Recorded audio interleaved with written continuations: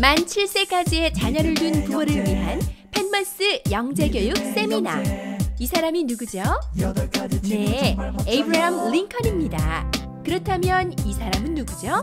공통점은 둘 다 영재라는 것, 그리고 세상을 변혁시킨 인물들이라는 것이죠. 세미나에 오셔서 함께 알아봅시다.